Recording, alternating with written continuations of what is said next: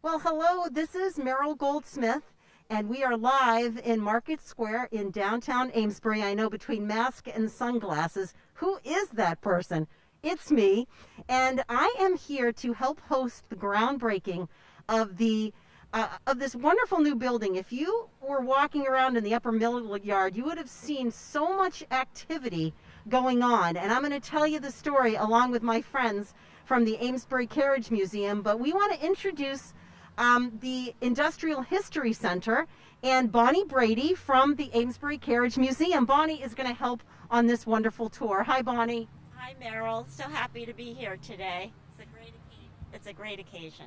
So we are starting in front of the counting house. So familiar. We want everybody to know exactly where we're going and where we are and everything. And um, so tell us why we're starting here and why we're heading through the beautiful arches. Right. So, you know, this is the heart of downtown Amesbury. So we're so fortunate that our new history center is going to be right in the upper mill yard. So we wanted you to kind of get that experience with us. So we're going to walk on over to the construction site. I do want to remind folks that when you're coming out, you know, running errands or having something to eat, stop in front of the counting house. There's a, an exhibit here that points out some information about the new Industrial History Center that we're hoping will be open by beginning of the year, perhaps, or, or early springtime, right, Bonnie? Yeah, early spring is what we're planning, uh, as long as COVID uh, cooperates. Uh, we'll be doing uh, exhibits, but we'll also be continuing our live uh, virtual programs as well. Wonderful. So we're going to go for a walk. Let's do it, my dear. All right, and Russ is going to be following us as we go through the arches here. And uh, I don't ever get sick of this view, Bonnie as you look up. I mean, and you can see we have some folks standing in front of the um, uh, the Industrial History Center. I think there's even uh, I don't know Peter Hoyt's in that crowd. I think too. oh yes, Peter is there. He wouldn't miss it. He's been working on this project for many many years. So here we are. So we're just through the archway. Our offices are over there. Our offices are the um, Amesbury Carriage Museum offices are over there, and so um, we are just past the the John Moores mural, and we're we're looking up, and uh, that's such a beautiful building, and um, we really have Greg Jardis to thank for that. Absolutely, Greg Jardis has been such a big fan and so generous. Uh, so we have 2,700 square feet of space on the ground floor, and it's on the other side of where he has the Amesbury Industrial Supply. So he's on High Street, and this is the back of that building. But what a great space for us to be open to the mill yard. Uh, that way we can use the outdoor and the indoor space. It's going to be wonderful. It is going to be wonderful. Okay, let's continue our walk, and um, we're approaching. Everybody knows where we are here, Bonnie. Oh, yes, flatbreads are neighbors. we love flatbread. so I can just picture, like, in the future, you come down with the family and, you know, get something to eat and uh, then come into the Industrial History Center and enjoy a day with the family and then maybe go sit in the amphitheater. I mean, so much. This is just going to be so wonderful. Yes. I mean, we already have some programs that make use of the mill yard, such as our Family Day program. Um, so now that the History Center is going to be open, it'll be an indoor outdoor event. Uh, it's amazing to have all this real estate available to us. And all to thank uh, Greg and his crew and the builders. We've got so many people to talk to, so we just want to be careful because this is an active construction site. So we are stepping over the barriers as we enter the Industrial History Center site. And at the podium is John Mayer, who is the executive director of the Amesbury Carriage Museum. And we've got some speakers, and we're going to go inside the building after for a tour so you will get to see exactly what this space looks like. So I'd like to turn things over to John Mayer. Hey, Meryl, thank you so much. And I'm so proud and delighted to be here this afternoon. This truly is an amazing event so many people involved with the Amesbury Carriage Museum have worked very, very hard to get to this moment. I'm proud to be the director of the museum and helping move this project even further along. So welcome everybody today. So we have a small audience. We're trying to be kind of socially aware and distance. You've met Meryl Goldsmith and Bonnie Brady who are part of the Carriage Museum staff. We have other board members with Mary Chatney and her husband Bill, Peter Hoyt, part of our capital campaign, and Tom Pendergast. We have Mayor Gove and Caitlin Thayer, who are part of the mayor's office. Shelby Snyder and Ben Becker, who are from BLB Custom Building and part of our, our crew. Uh, Phil DeCologero from the Amesbury Chamber of Commerce, and some fans. I see Barbara Bell in the background. Hi, Barbara. Pam Fenner, and other people who have been just part of the Carriage Museum program. This has taken a lot of work for us to get to this point. We're, we're calling this the launch of the public phase of our campaign. We've worked for a couple years on planning for the project. We've done work with our donor, donor community. There are a number of people who aren't here today who have been incredibly generous to the Carriage Museum. We had a lead gift from Dan Healy, uh, Mass Cultural Council, and their Capital Facilities Fund also provided generous support. Newburyport Bank, the Institution for Savings, the Arakelian Foundation, and a long list of private donors who you can find them on the Industrial History Center website. This project is a culmination of decades of planning for the Carriage Museum. It's been 30 years that people have imagined having a public facility that would serve the community with exhibits and programs, a showcase for our collection, a way to bring the community together to celebrate Amesbury history, and now we are so close to making that happen. I think when we finish our presentation today, we'll go inside and people can see what the space will look like. We're incredibly grateful to the generosity of Greg Jardis, who's donated the use of this space. He's supported us with some financial gifts, and finally we're, we're seeing the project come forward. I'm going to turn the podium over to Mary Chatney, who is the immediate past president of the board of directors of the Amesbury Carriage Museum. And Mary, she's the one who brought me onto the uh, board here, and I'm delighted to have you here and part of the program. Thank you, Mary. Thank you, John. Good afternoon. A few years back, John Mayer found this quote on page 44 of the Essex Memorial of 1836, embracing a register of the county. Quote, most of the people in Amesbury belong to the productive class, very few are raised above the necessity of personal exertion. All are active and industrious, readily find employment, and command good wages, unquote. Every time I hear that quote, I am reminded that Amesbury's citizens are still of the productive class, active and industrious. They hear a good idea and work to bring it to fruition, no matter how long it takes. It is that industriousness that has brought us to today. After 30 years or so, we are breaking ground on the Industrial History Center and realizing the dream of so many people that came before. People like Margaret Rice, Holly Patton, Harriet Gould, Richard Gale, and Betty Goodwin, to name a few.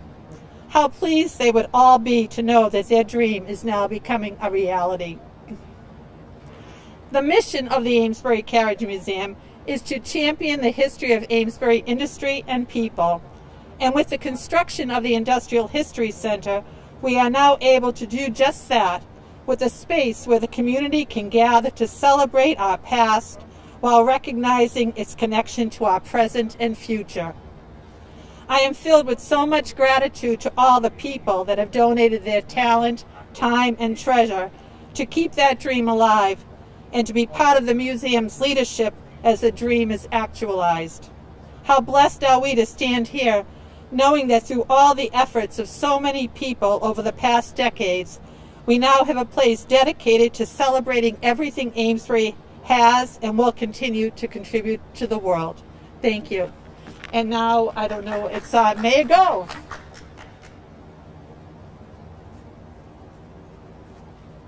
Thank you, John and Mary, and thanks to everyone who's here today and joining us online. I know that I'm speaking to the choir when I say that Amesbury has an incredibly rich history of entrepreneurship, innovation, art, and progress. I can tell you that even as a native, I didn't appreciate that history until my adult years. In the last five years, with many thanks to John Mayer, I've learned a lot more about our history. I can hear John's voice talking about the importance of establishing a quote unquote sense of place, a term used in relation to those characteristics that make a place special and unique, and those that foster an authentic human attachment and belonging. John and the Amesbury Carriage Museum have done a great job of telling the story of Amesbury as Carriage Town and highlighting our most unique and authentic characteristics without a physical space to call home. Now, with the opening of the Industrial History Center, they will be able to continue their work and everything they are doing to expand and tell more of Amesbury's story. Someone once told me that we will know we've been successful based on the next generation and how they feel about Amesbury. This location, donated by Greg Jardis, in the heart of our city, could not be more of a perfect setting. The community stories that will be told here will have a profound impact on generations of Amesburyans and our guests. In recent years, I've worked closely with the Carriage Museum and I know the road they've traveled to get to this day. I remember being on the interview committee for John, inviting him to share an office space with me at the chamber, facing the reality of feasibility studies, and watching the board continue to march on towards their goal of establishing their physical location. I applaud you for your persistent efforts to make sure Amesbury gets the community museum that we deserve. I hope the opening of the Industrial History Center brings more light and attention to all of our historical sites like Lowell's Boat Shop, the Bartlett Museum, the Whittier Home, the Rocky Hill Meeting House, and all of our Amesbury treasures. Congratulations on your groundbreaking today and all of the progress you've made this far.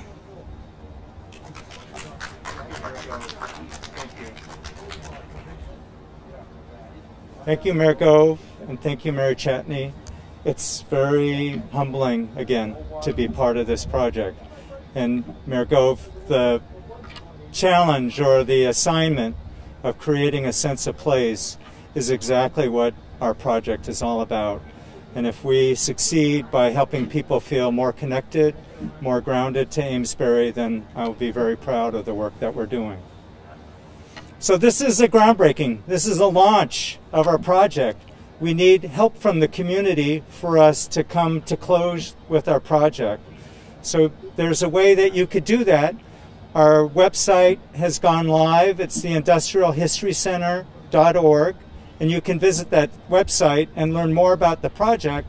And if you're interested in making a contribution, we will honor you and recognize that support. We have different ways of recognizing gifts at different levels.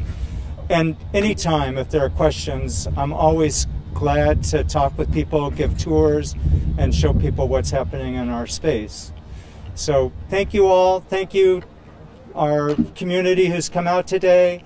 Thank you, Amesbury. I hope you're as proud as we all are, and I hope you support us.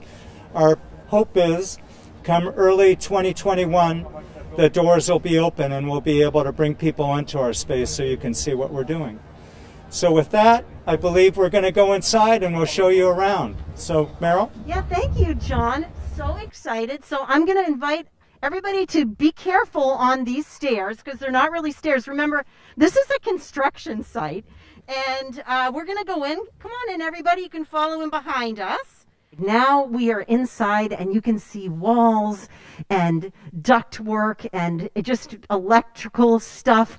You know, that's my my totally um, expert, uh, you know, opinion of everything. So we've got some people to talk to while we're inside here, while everybody is coming up. And I want to start the conversation with uh, Tom Pendergast, who is the vice president of the board of directors and also head of the building committee. Hi, Tom. Hello, Meryl. How are you?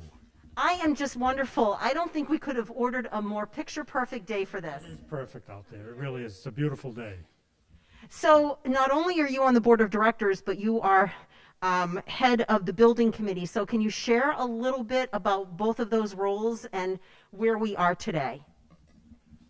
Well, it's it's it's very exciting to be on the board, uh, it, uh, and that's ramped up significantly higher by being the chair of the building committee. Uh, obviously, there is an awful lot going on. We're working with BLB Construction as the general contractor. They've been excellent to work with. Uh, it is a multifaceted construction project, um, which makes it even more interesting the fact that the building is almost 200 years old. And, and that presents its own challenges. But it's, it's very exciting to see the progress, and we're, we're thrilled with the results.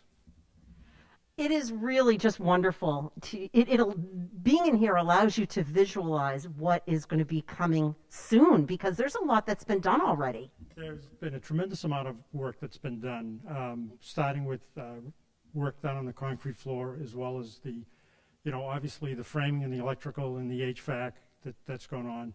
And another great thing about the building is you can see the history in the brick walls as far as where where things have been added or patched up and filled in and altered, and um, and that that's really special. It it gives so much more credence to the fact that this is an industrial history center, when the building contains 200 years of history already. We were over here, and um, we got a kind of Peter Hoyt and I got a kind of behind the scenes look with um, our friend uh, Greg Jardis, and um, you can really see the bones and the age of this building when you walk around. Absolutely, that is absolutely correct. Yes. Well, thank you so much. So um, we've got so many people to speak with in here, and we'd like to talk with um, the executive director of our Amesbury Chamber of Commerce, and it's Phil DeCologero. Hi, Phil. How are you? Just wonderful. So, you know, just like Mayor Gove was talking, um, this is going to really be a centerpiece for our city of Amesbury. I, I completely agree with her. I think that it's exciting for um, what's planned here. When you look at what's um, been a beacon of attraction for some donors outside of Amesbury, I know that John Mayer has talked about how there's been so much energy coming from not just within Amesbury's business community, but from donors outside of it. And it shows the potential of attracting those people not just their money, but attracting their actual physical presence in downtown Amesbury, which of course will have a ripple effect with our business community here. And I think that you see the investment of our business community in this idea, um, whether it's Ben Becker from BLB Custom Building working on this site, um, the generosity of people like Greg Jardis from Amesbury Industrial, Matt Sherrill from Gould Insurance, Wayne Barbaro from Amesbury Chair. I mean, these people are genuinely putting the money where their mouth is, and they truly believe that this will not just be something that preserves the history of Amesbury, but actually helps preserve the identity of the downtown and attract people here. So, I mean, kudos to the board and to John Mayer especially for being the driving force behind this project. It's been pretty neat. So what we're standing in front of is we're standing in front of an artist's rendition of what the really where we're standing is going to look like. And I just I just love this. And what I love most about it is, you know, the Amesbury Carriage Museum and Industrial History Center slogan of community stories start here. This is what this space is going to be completely about. And, um, uh, you know, I just love the vibrancy of the artist's rendition of what the inside, where we're standing right now, uh, how it is going to be looking. So, um, thank you, Phil, so much. Now I want to talk to um, Ben Becker from BLB Construction. I think I'll swing myself over this way as we're live on Amesbury Community Television doing our masked, socially distanced best here. So come in, come come over here a little bit, and um, this is just an amazing space. It is. I, it was pretty amazing because uh, John Mayer, when he asked me to, if I was interested in the project initially, I was I live right up the street, so naturally I was like, I go to Flatbread all the time, and I'd love to work in such close proximity to my house, but also be a part of, uh, you know, contribute to the community and like really just help out. So. So can you share a little bit about, you know, this was probably storage for um, Amesbury Industrial Supply, how it went from that to where we are right now? so there was a lot of planning involved, and uh, Greg Calling of Merrimack Design Architects, he was he spearheaded the whole design part of it. So took a lot of planning, and right as we were about to break ground, COVID happened and uh, kind of threw a wrench in things, but we found a way around it, and we were able to begin. I think three months after uh, the first, I think it was like end of March we started. So. You know, honestly, with with COVID, I mean, everything is just moving at such a different pace. That's really not that much of a delay considering what other companies and what other organizations are dealing with.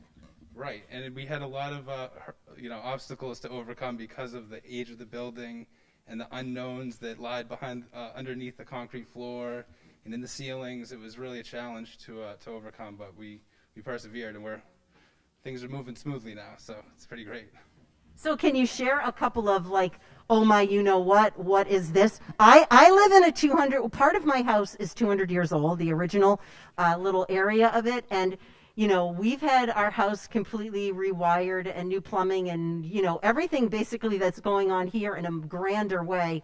Had, did you have any of those, you know, OMG moments? Yeah, once we ripped up the part of the concrete floor, we noticed there was a huge void underneath it, which apparently was part of another structure because the outside of this building did not look like this. There was other structures. So there was a void that was, you know, you could have fit a, a, uh, Fiat into. So uh, we had to figure out if there was actually the riverbed that was, you know, causing the erosion or if it was something else. It was just natural settling. So that was, we had to get engineers involved and the architect was involved and we were just trying to figure out how to work around it. So um, we ended up figuring out a solution and came through. Well, the new floor looks absolutely beautiful. And as we can see there, uh, these will all be display areas and meeting rooms and the lobby and everything that is depicted here in this wonderful artist rendition. Yeah, it's pretty amazing. So in a couple weeks, it'll look very different because the walls will start to get boarded up after we get our inspections, and um, then the finishing touches will go into it. So it's really it's it's moving along nicely. So do you think? I know everybody's thinking like early spring 2021. Do you think that's doable? Early spring 2021 is doable, and I have, I have John holding my, my feet to the fire. So um, the big thing is is the exterior because obviously we're going to be playing against the elements once um, once winter comes. So we'll see how that pans out. Anything else that you'd like to add about this project? And you know, just because not only are you doing this, I love the fact that you are here in Amesbury and you live here, and you know, this is directly connected to you and your family. Yeah, so I live right on Sanborn Terrace, which is right across from the uh, Amesbury Industrial Supply. And one of the reasons I, we decided to stay, because we kind of were outgrowing our home, was because this building was here and because the, I am a contractor, so obviously I want a hardware store that I can walk to from my house, and that's convenient. And just the fact that you know we're doing a project right below it is, is pretty you know amazing. So I'm just I feel very grateful and, and blessed that I was chosen as the contractor. So. Well, thank you so much. You've done a wonderful job. Um, I want to ask Mayor Gove to come back over for one more minute and um, just give us some thoughts about, you know, being inside this space here. Uh, Mayor Gove, um, you've had quite the beginning of your career here, and this is something that must just bring you such joy. This is really exciting. I have found a few holes in the last eight months, similar to the ones these guys ran into. um, but uh, this is really wonderful uh, for the community. It's really exciting to be in this space. I attended many tours uh, with John Mayer and the team where we got to walk through this space to take pictures and hear about the history of the building. I don't think any of us ever thought that we would be back here with a wonderfully furnished location for the museum. Uh, so thanks to Greg for making that happen. And I love the uh, sort of cartoonish artist renderings. That was a nice touch.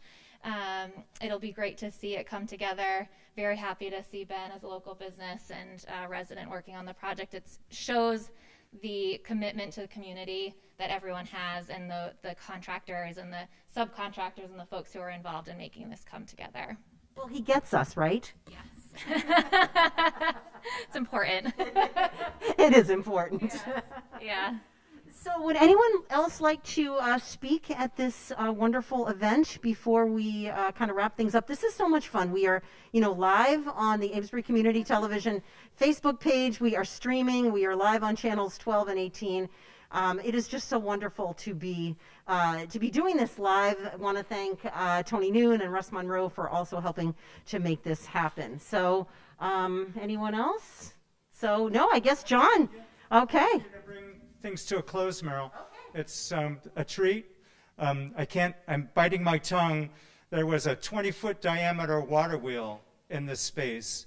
One of the things we've learned with our re research team is that water actually was directed from the Powow to High Street, and it flowed through a gate right through this very space.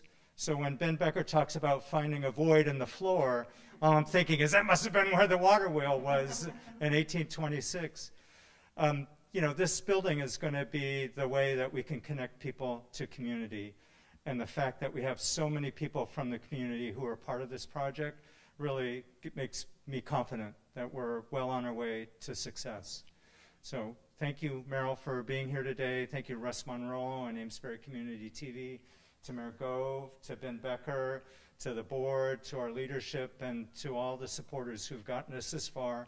We need the community to get behind us and help us make it to the end. So we're hoping for that, and here's to success.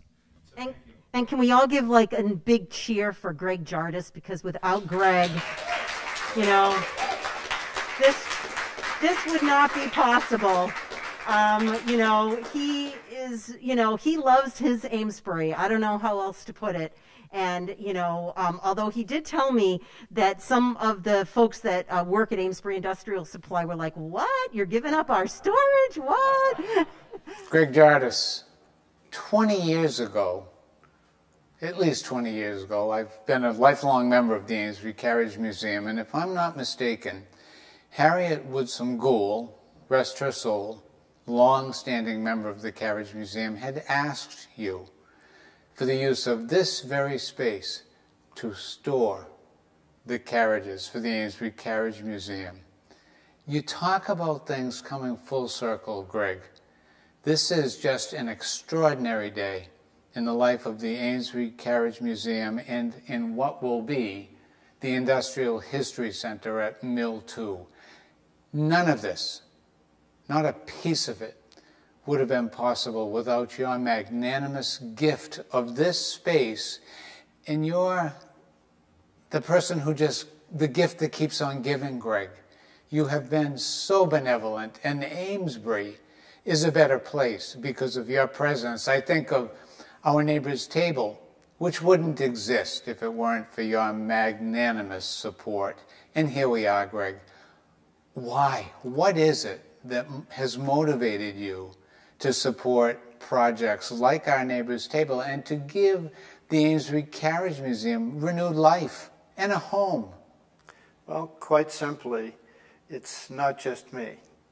It's the community. It's um, the community giving back to Amesbury Industrial Supply, which has created uh, the possibility for me to help uh, different organizations in town.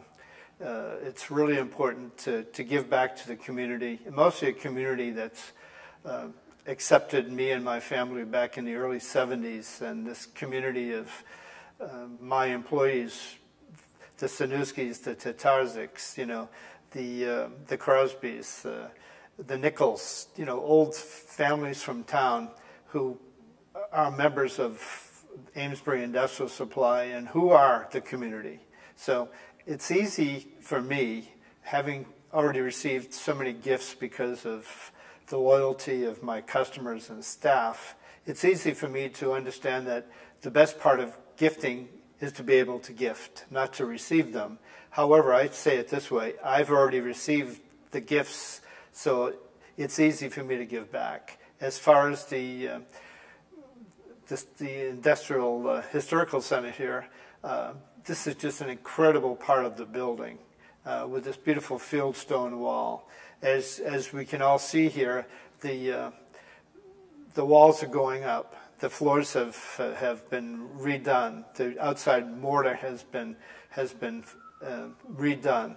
The, the Carriage Museum has had this dream for very many, many years. And to answer your question, long term, long way, is that I, I saw this space as valuable space for my company, but more valuable space for, for our town, for our community, for the children who want to learn about history, to honor all of those who came before us and built this town and with sweat and blood and the ingenuity and the, and the, and the, and the brains and the bronze, you know, all the factory workers, the women, the men, the people who ran all these incredible industries that really put Amesbury on the map.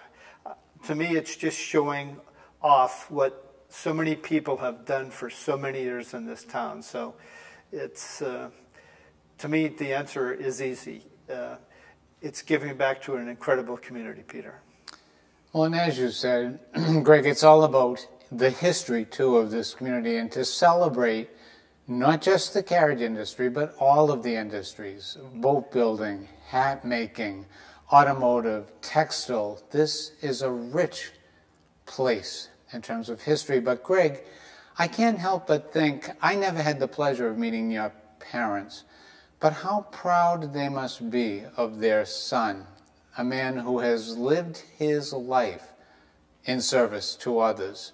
I believe that we live what we learn, and I would suggest that you came from a household that modeled this kind of behavior, Well, thank, giving of self. Thank you, Peter. Well, my mom was from Methuen, and her family's name was Taylor. My dad was from Lawrence, and his family name is Jardis.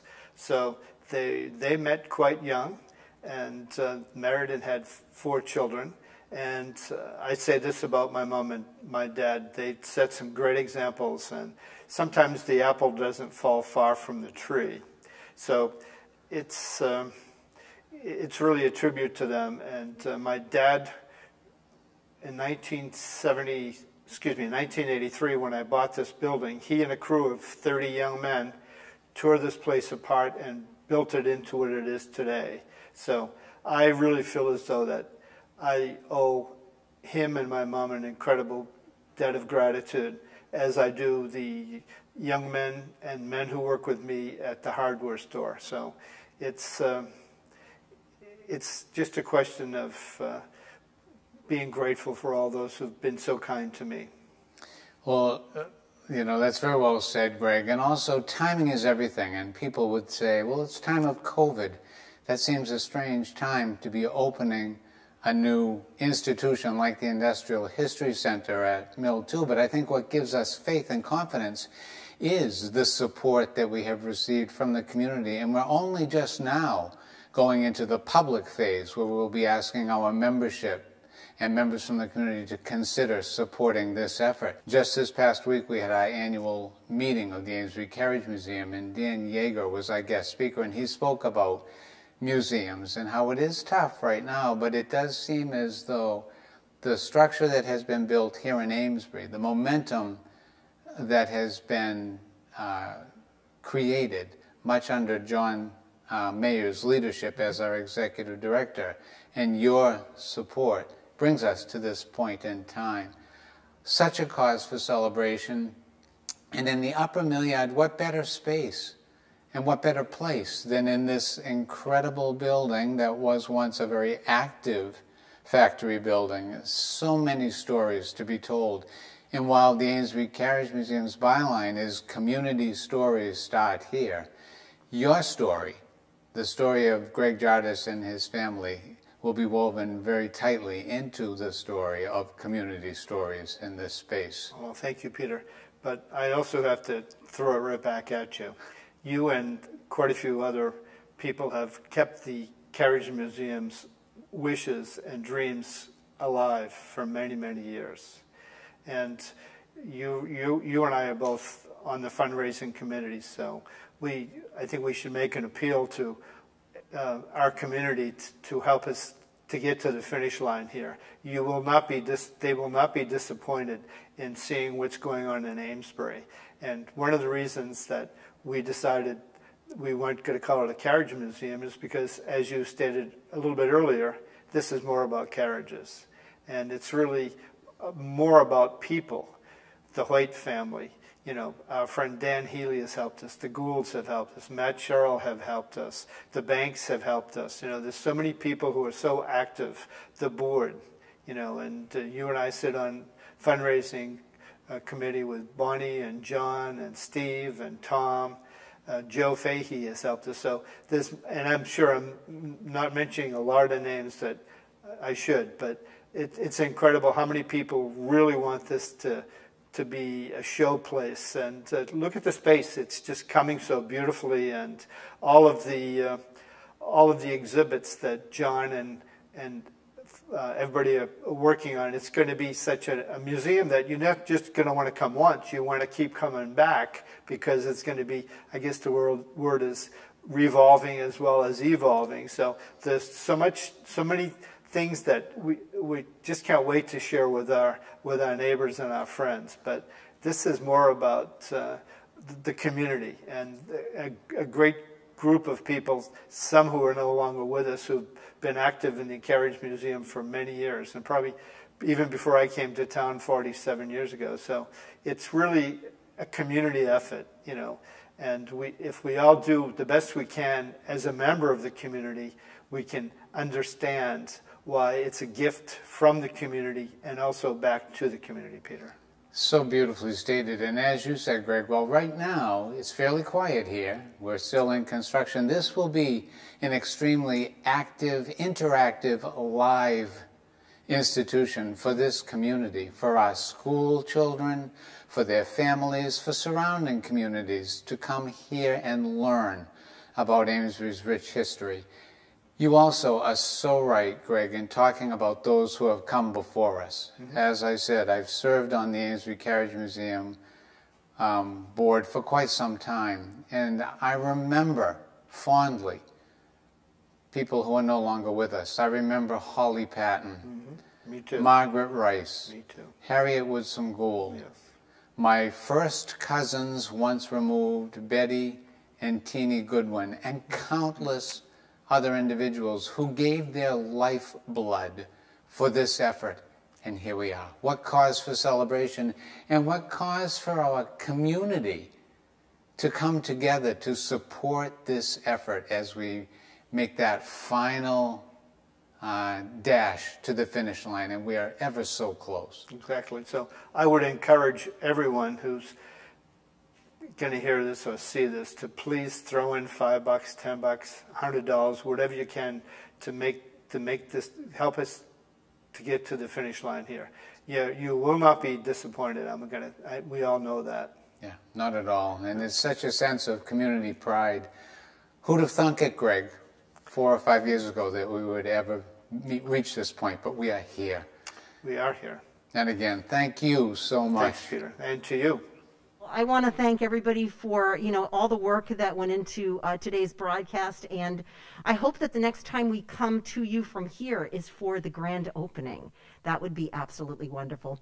I'm Meryl Goldsmith, and thank you for watching Amesbury Community Television. We're live from the new Industrial History Center. Have a great day.